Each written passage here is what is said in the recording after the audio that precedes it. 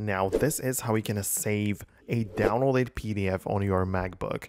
So it kind of depends on what exactly you mean by this because whenever you download a PDF from the internet, you can find it inside of your downloads folder of your web browser. So in Safari, you have this like download icon.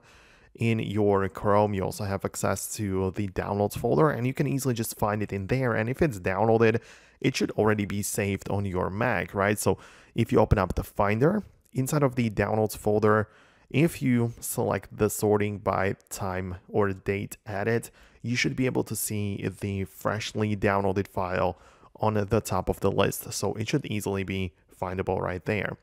On the other hand, if you by this mean that you have performed some changes and you want to save those, well, if you download a PDF document, you can easily just select it, click the spacebar to, to make more options show up, and then press the edit button marked by a pencil in a circle.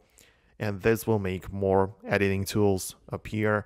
And you can use those to add like drawings and highlight text and crop it and add shapes and whatnot. And after you are done, if you want to save those edits, just ensure to click on a done and the, this PDF will be then updated with the latest edits and information you have added in there. So it is really simple. It works kind of like this and that's how you can save it. So this is like my approach or my view of the problem of the issue. So if you have anything else which is a bit more specific or you have a problem that you are kind of working with, then just leave a comment below.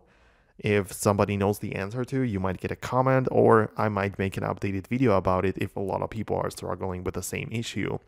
Make sure to check out some other PDF videos about Mac on this channel because I have a lot of them and you might find them helpful. So that's it. Click on the thumbs up button if you enjoyed this video and I'll see you in the next tutorial.